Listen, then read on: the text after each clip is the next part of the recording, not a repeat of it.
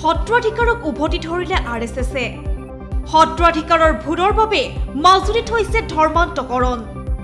মাজুলীত দুৰ্গা পূজা পতাৰ পক্ষপাতী আৰ এছ এছ। এতিয়া মিয়া মিউজিয়ামৰ সমানে সমানে চৰ্চা চলিছে দুৰ্গা পূজাৰ।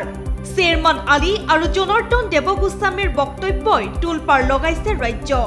কিছুদিন পূৰ্বে সত্ৰপীঠ মাজুলীত দুৰ্গা পূজা পতা সন্দৰ্ভত বিতৰ্কিত মন্তব্য কৰিছিল সত্ৰাধিকাৰ জনাৰ্দন দেৱগোস্বামীয়ে। সেই মন্তব্যৰ পাছতেই ৰাজ্যত লাগিছিল হৈছৈ উভতি ধৰিছিল অসমীয়া ৰাইজে। পিছে সেইজন সত্ৰাধিকাৰৰ পক্ষ লৈছে আৰ এছ এছে।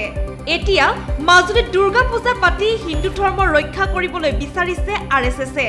শুকুৰবাৰে আৰ এছ এছৰ উত্তৰ অসম প্ৰান্তৰ সংঘ চালক ডাক্তৰ ভূপেশ শৰ্মাই সম্বোধন কৰিছিল এখন সংবাদমেল। সংবাদমেলত তেওঁ কয় সত্ৰাধিকাৰৰ ভুলৰ বাবে মাজুলীত হৈছে ধৰ্মান্তকৰণ। সত্ৰাধিকাৰসকলে কৰণীয় কাম কৰা নাই বুলিও কৰিছে তাৎপৰ্যপূৰ্ণ মন্তব্য। ওপৰৰ পৰা চাউল আৰু প্ৰসাদ দলিয়াই দিলে কিয় মাজুলীৰ ৰাইজ হিন্দু হৈ থাকিব বুলিও প্ৰশ্ন কৰে আৰ এছ এছে। মাজুলীত বিগত বহু বছৰ ধৰি ধৰ্মান্তকৰণ হৈ আহিছে। সত্ৰাধিকাৰক ইয়াৰ বাবে জগৰীয়া কৰিলে আৰ এছ এছে। কিন্তু এই ধৰ্মান্তকৰণ ৰোধ কৰিবৰ বাবে আৰ এছ এছে ব্যক্তিগতভাৱে কি ব্যৱস্থা গ্ৰহণ কৰিলে? সেয়া এই মুহূৰ্তত এতিয়া ডাঙৰ প্ৰশ্ন। তাৰ লগতে জনাৰ্দন দেৱগোস্বামীক আৰ এছ এছে সমৰ্থন জনোৱাৰ ঘটনাই এতিয়া ৰাজ্যজুৰি তোলপাৰ সৃষ্টি কৰিছে।